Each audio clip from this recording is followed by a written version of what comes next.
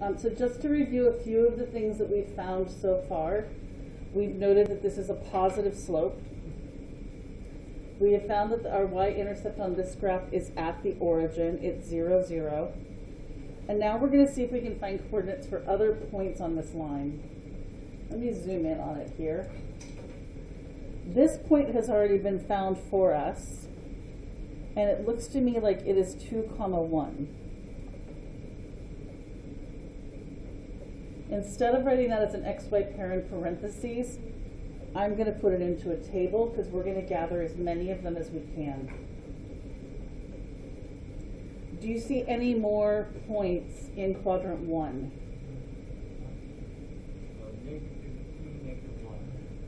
I'm looking first in quadrant one.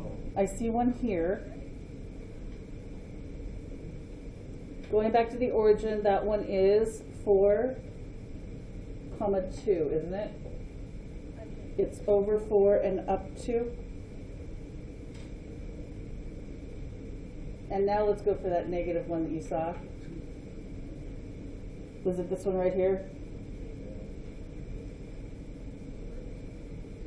This is negative two and negative one.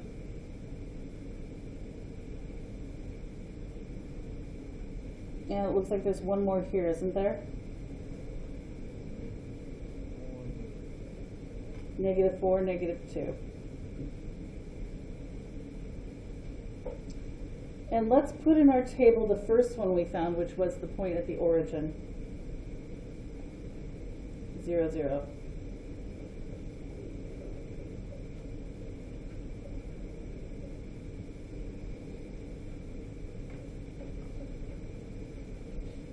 Let's try that over here.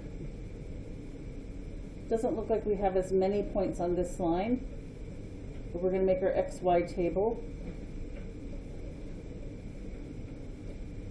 This top left point is at one, two, three, negative four, comma, one.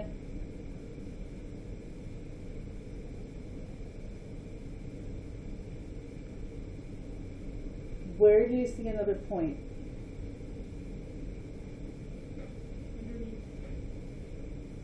I see one right here.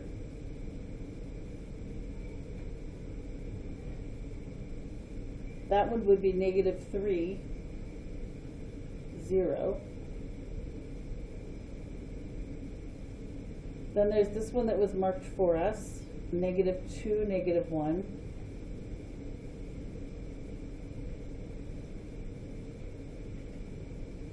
I think I'm gonna run out of room if I try to put all of these on here. It looks like there's one at every point, doesn't there? Yeah.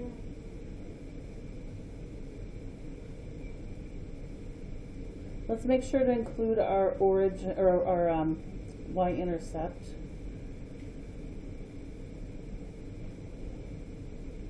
And that's probably enough.